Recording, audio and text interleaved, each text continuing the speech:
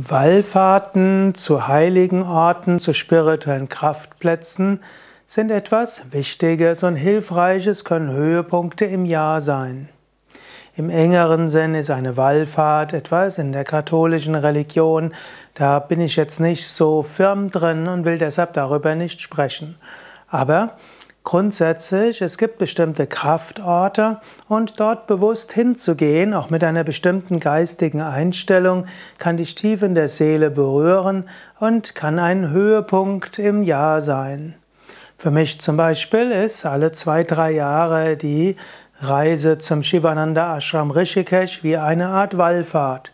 Ich freue mich darauf, ich stimme mich darauf ein und schon wenn ich dann dorthin fahre, fühle ich etwas. Aber es gibt auch kleine Wallfahrten. Hm, zum Beispiel auf eine gewisse Weise, wenn ich ins unser Shivalaya Retreat Center in Bad Meinberg gehe, da gehe ich auch mit einer Ehrerbietung hin und empfinde das wie eine ganz kleine Wallfahrt. Oder wir haben auch natürliche Kraftorte dort. Wenn ich zu den Externsteinen hin fahre, typischerweise mit dem Fahrrad, und dann ergreift mich auch so ein besonderes Gefühl. Und selbst wenn ich zum Beispiel in die kleine evangelische Kirche in Bad Meinberg gehe, ist auch so wie eine kleine Wallfahrt.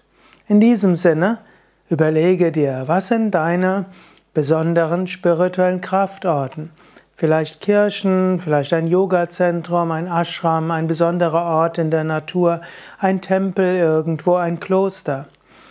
Und dann besuche dort regelmäßig, geh dort regelmäßig hin, aber mach es auch mit einer bewussten Einstellung. So wie zur Wallfahrt dazu gehört, da bestimmte Disziplinen, bestimmte Gesänge und Gebete und Lesungen.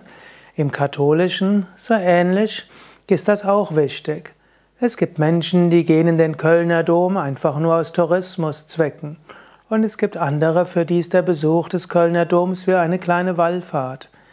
Es gibt Menschen, die gehen an die externen Steine einfach äh, aus Neugier.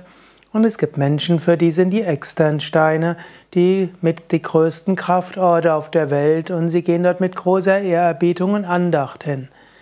Und so ist es wichtig, mit einer bestimmten Ehrerbietung und Andacht seine kleinen und größeren Wallfahrten zu machen.